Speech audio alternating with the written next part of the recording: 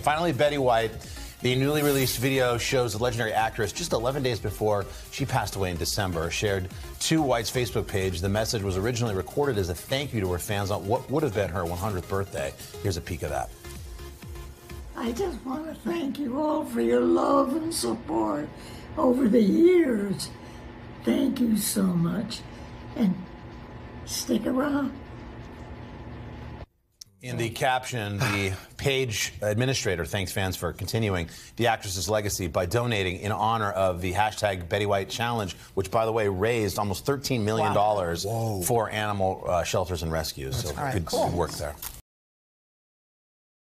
Hey, thanks for watching our YouTube channel. Find your favorite recipes, celebrity interviews, uplifting stories, shop our favorite deals, and so much more with the Today app. Download it now.